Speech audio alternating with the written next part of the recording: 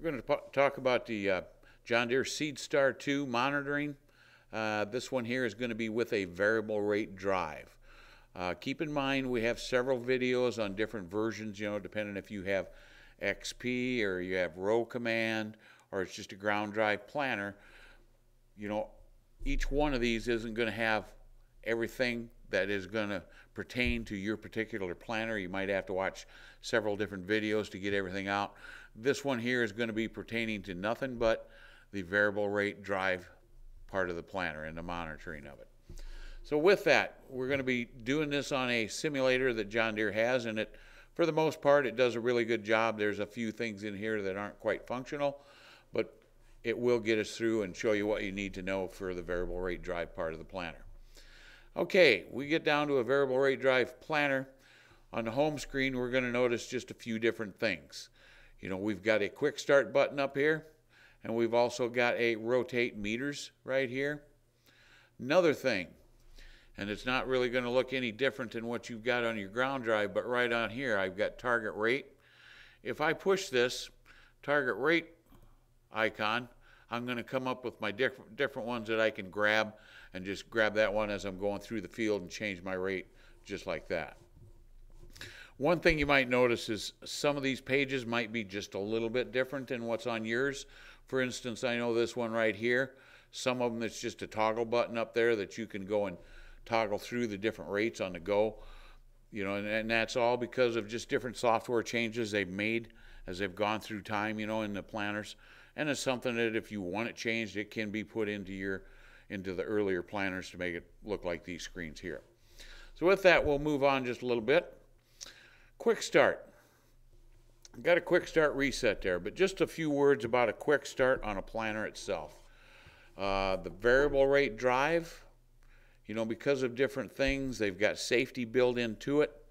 You know, there's always going to be a little bit of a skip when you drop that planner down and you take off.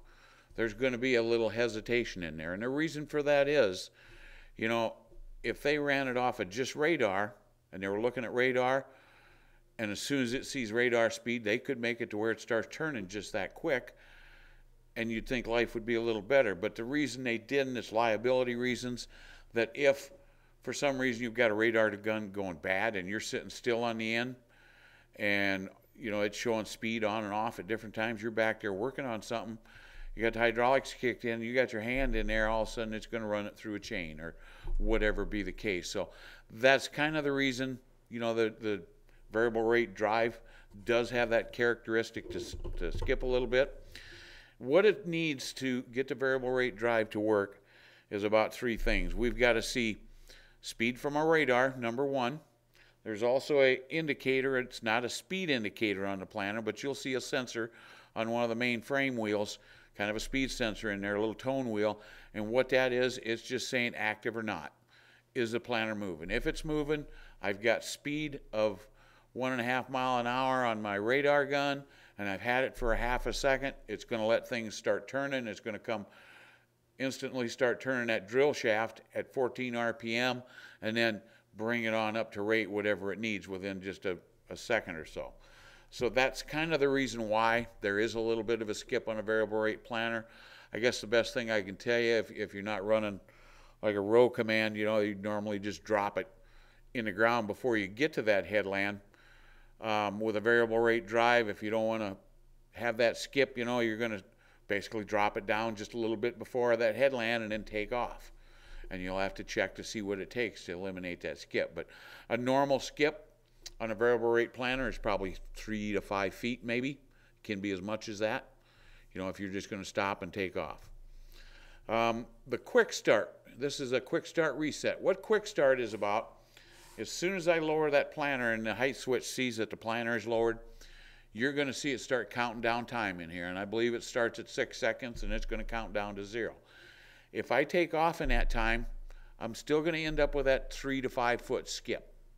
You know, but it, it releases things a lot quicker. If this quick start, say we, we come up to the end and I lower that planter, and I sit there for 10, 15, 20 seconds, and then I take off.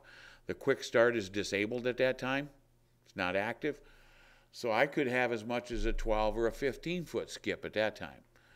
So, if you're lowering the planter and you're not seeing a, a countdown in time going on here, what we need to do is go into planter configuration over here, letter G, and then we're going to go into drives right here on this tab.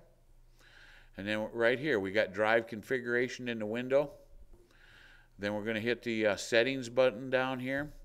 And then right here, we want to make sure we've got a check mark in the quick start there. So that's just a little bit about the quick start. So like I say, you're, you're sitting on the end, you had the planter down, and this time counted off and you didn't get going, is all we have to do is click on that button one more time. I've got six more seconds to get going again to where I end up with that minimal skip. The other tab we seen in here was, was the rotate meters. If you had a ground drive planter, you know that the first time you start it up, you turn the vacuum fans on, seed discs are all empty, you've got to go back there and either turn the drive mechanism of the planter to get the discharged or put it in the ground and go, and you're going to have a, a big old skip there too.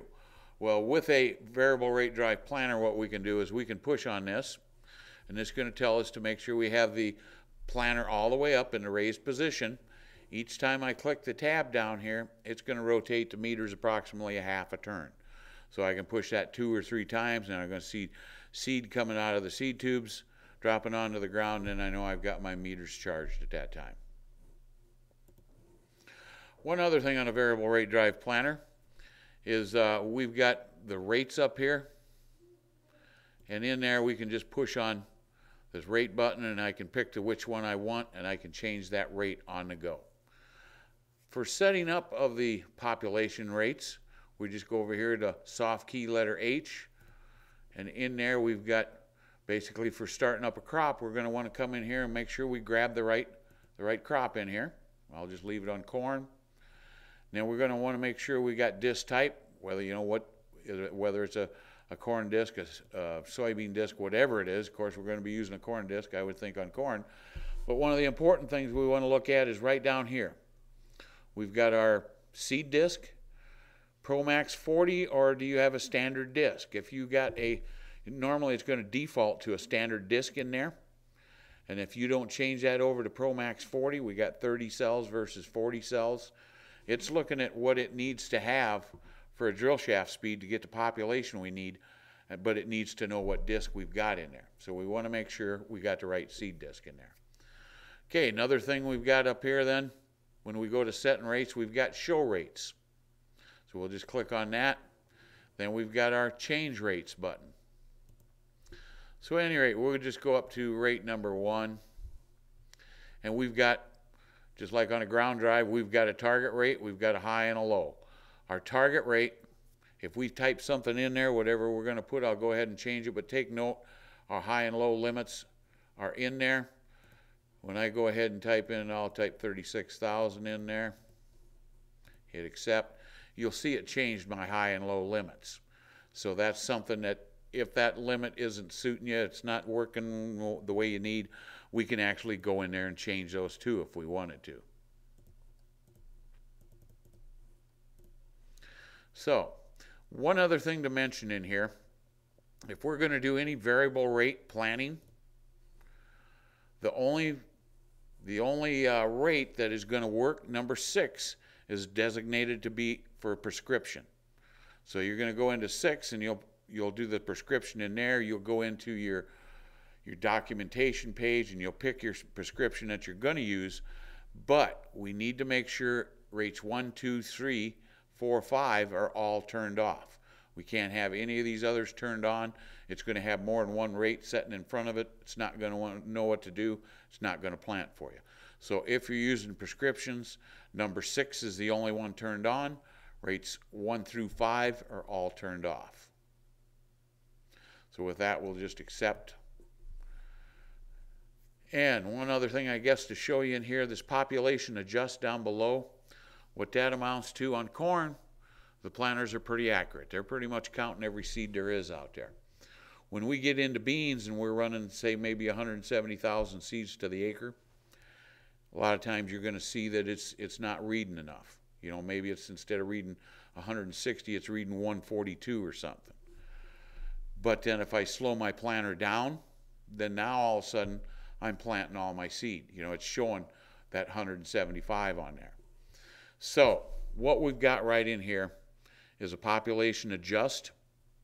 If I go in here, say I was 6% off on my seed, you know, of what it was actually counting, I would go in here and I'd put a 1.06 and that's going to put an extra 6% onto it. So now when I slow down, instead of reading, you know, I slow down to two mile an hour, instead of it reading at 175, it's going to be reading 190 or whatever it is, 6% extra.